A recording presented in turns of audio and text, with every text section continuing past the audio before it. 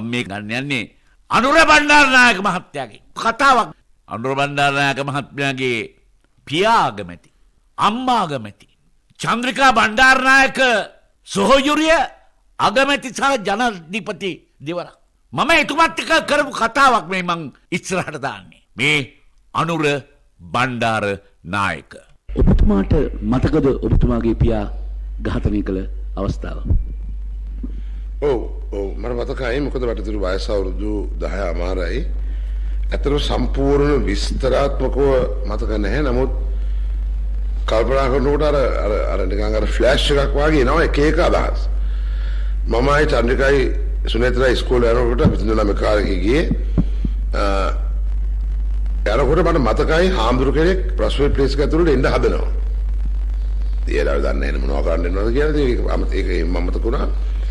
ඊට පස්සේ හිටපු ආය කෙනෙක් ඇවිල්ලා දුවගෙන ඇවිල්ලා කිව්වා අන්න අගමැතිතුමා වෙඩි තියලා කියලා. ඊට පස්සේ මුළු රාජකීය විද්‍යාලයේ ප්‍රාථමික අන්තිම කලබල වෙලා මේ මේ මේ ගුරුවරු වරු අනන්න පටන් අරගෙන සේවකව අනන්න පටන් අරගත්තා ඊට පස්සේ කෙලින්ම ගියා අපි රොස්වි ප්ලේස් එකට. ලේ දැක්කලේ විලක්.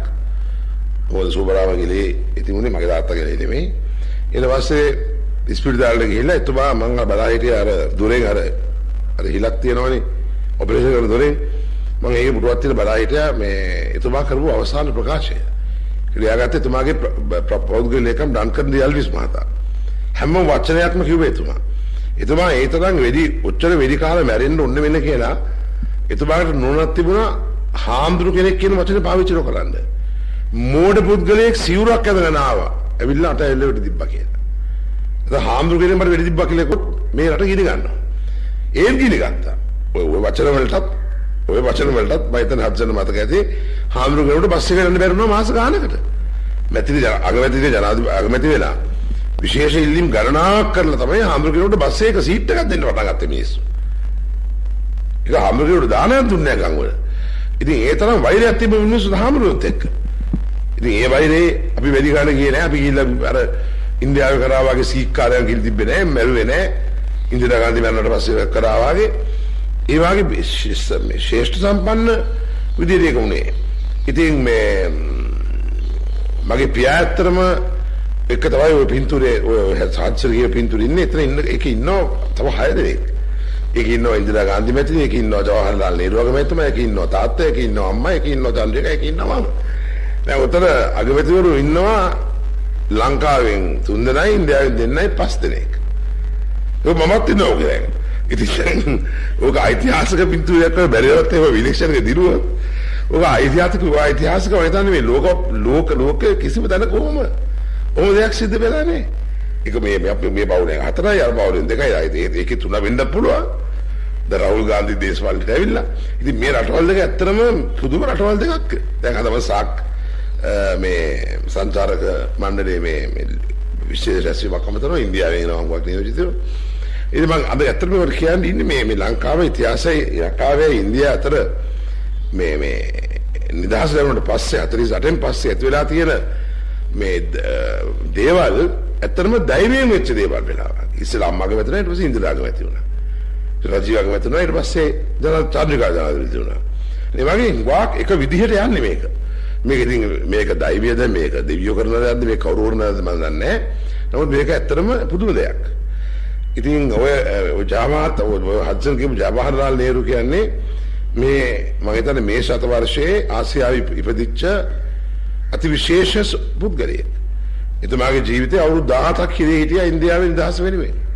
ඒක කවුරුත් දන්නේ නැහැ. එතුම එතුමා ලිව්ව පොතක් Glimpses of World History කියලා. ඒ පොත ලිව්වේ හිරේ ඉඳගෙන බිම ඉඳගෙන මේ ඉටිපන්දමක් පත්තු කරලා ලිව්වේ. වින්ස්ටන් චර්චිල් ඉංගලන්ත අගමැතිතුමා History of the World කියන එක ලිව්වේ එතුමාගේ ලයිබ්‍රරි එකේ ඉඳන්. මේ ඉන්දියන් කාලේ ලිව්වේ බිම ඉඳගෙන. අන්දර බැලුවාම පොදුක අතර ලෝකයි පොළොවේ වගේ වෙනසක් තියෙනවා. ඒ නිසා එතුමා අතිවිශේෂ නායකයෙක්. එතුමා මුණ ගැසීම එතුමත් එක්ක ආශ්‍රය කිරීමට ලැබුණ අවස්ථාව ලැබුණේ මගේ අම්මයි මගේ පියයි හින්දා.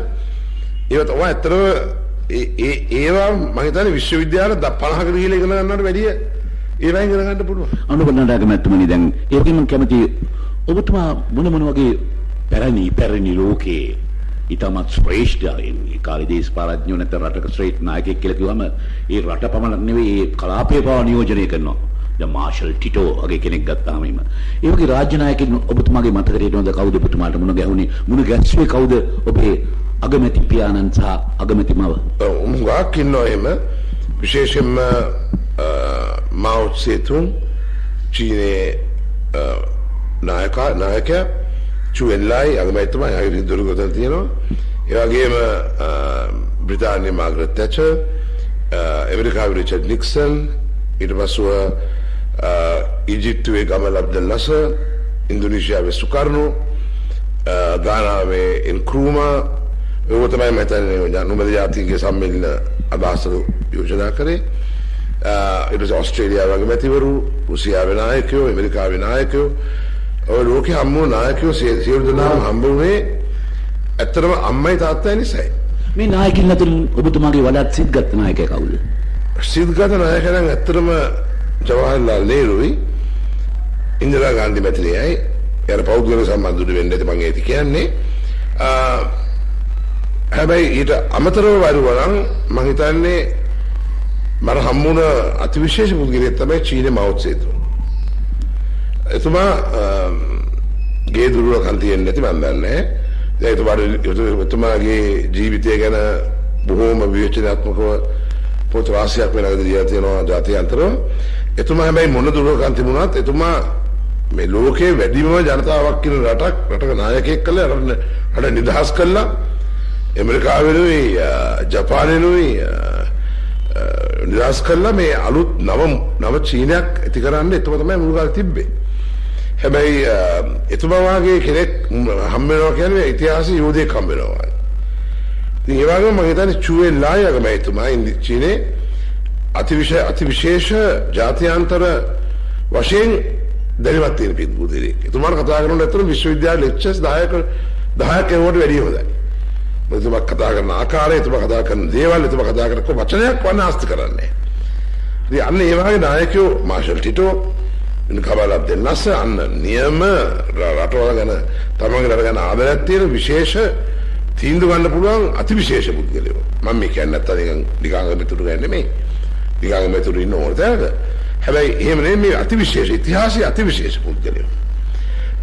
මේ ඒ නිසා ඒ අවස්ථාව මට ලැබුණේ ඇත්තටම ජේ.ආර්. ජවර්ධන මහත්තයාගේ බාර මයගේ දරවට පස්සේ දැන් අර දැන් මෙහෙ තියෙන ඒ පින්තූර තමයි උන්වහන්සේට දකින්න පුළුවන්. ඒ පින්තූර ඇත්තටම ඒක විත් එක මම ගහලා තිබුණා. ඒක තමයි පුදුම වුණා මෙච්චර ලයිබ්‍රරි එකක් තියෙනවා කියලා පින්තූර මේ ලෝක නායකයොත් එක්ක ඒක බලගවත් තිබුණේ නැහැ.